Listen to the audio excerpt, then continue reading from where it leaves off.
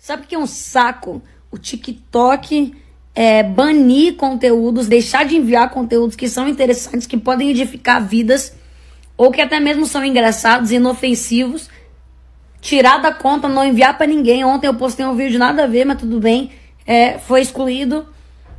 É, tudo bem, concordo, beleza. Tinha uma foto minha criancinha lá e tal, que não é legal ter, beleza, entendi. Mas aí eu rodo o o For You e começa a aparecer um monte de criança fazendo um monte de coisa ilícita. E tudo isso pode, né, TikTok? Tudo isso pode. Essas coisas você viraliza.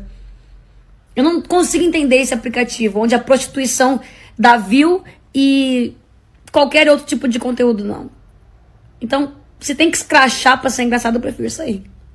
Não faz sentido ter um monte de seguidores e meus seguidores não receberem meus vídeos.